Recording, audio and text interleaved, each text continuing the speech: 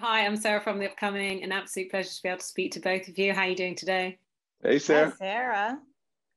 Um, maybe you could kick off with a brief introduction to this incredible series. Tell us a bit about your characters. What can people expect um, from the from the series, but in particular your characters? Okay, so the Last Days of Ptolemy Grey is a new series on Apple TV Plus. Premieres March 11th. It stars Samuel L. Jackson, and it is about the struggle that one man has to regain his memories while suffering from dementia, and the trials and tribulations uh, that he goes through with his family and through his family to try to come out triumphant for a somewhat uh, murder mystery treasure hunt. It's a little bit of everything and a whole lot of entertainment and fun. Very mm-hmm. provocative show. And it's what can you tell us? Sorry, go on. It's a thriller. It's a journey into a man's life. Um, he's we meet him at his in his later years, um, but we see an entire lifetime unfold over the series um, in all its glory and all its joy, but also in all the trauma. Uh, we see a virtuosic performance by Samuel L. Jackson, but again, still a cast of characters um, by some of the best actors out there. It's such a pleasure to have worked with every single one of these people. Some new faces, some old, um, and yeah, it's it's it's a journey, and we are so excited for you guys to come on that journey with us. And I understand it was quite a passion project for Samuel L. Jackson in particular, because the book is sort of a decade old. And in that time, he's been really wanting to get it, you know, made and, and, and on the big screen. So what was the appeal for you? Had you read Walter's book beforehand? And, um, you know, why did you want to play your very specific characters? I had not read the book beforehand. Um, I'd read Walter's work, love it, of course. Um, seen some of the the novels that had been made into movies and films in the past and been such an admirer of his work. I just absolutely love this man as a t- storyteller. So when I got the script, got the book, um, I loved how complicated Niecie is. I love how um, human she is. Walter does this beautiful job of writing characters that feel very real in all their complexity. So um, it was just a pleasure to be able to bring Niecie to life in a way that Walter had already done most of the work, and I just, you know, put a face to her now.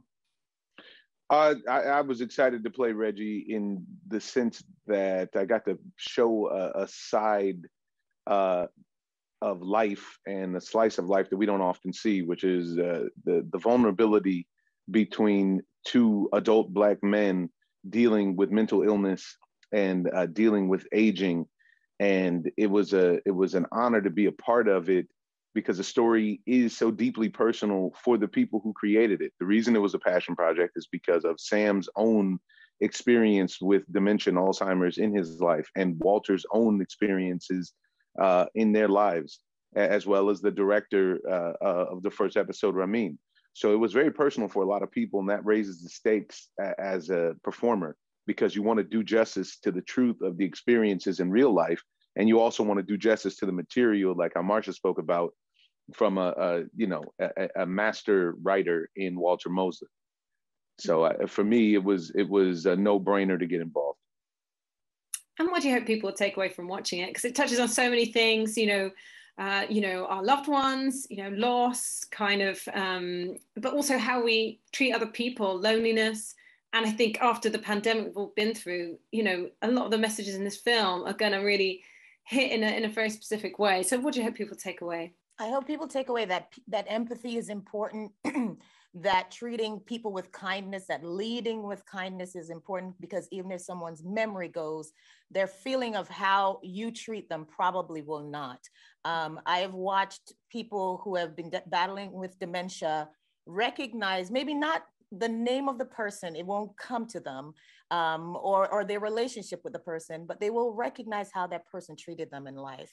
And I think that's important. If you think if you if you acknowledge that how you treat people will stay with them throughout their lives i think you will lead with kindness and empathy. Uh, you know what? I, I think that it's I, I hope that it resonates that humanity is of the utmost importance and that it is okay to recognize that life is complicated and hard and that we don't always get it right and what I, I pray comes out of the series is this sense of hope and understanding that that we're all interconnected and how we treat each other matters. The words we choose matters. Uh, how we who we choose to spend our time with matters.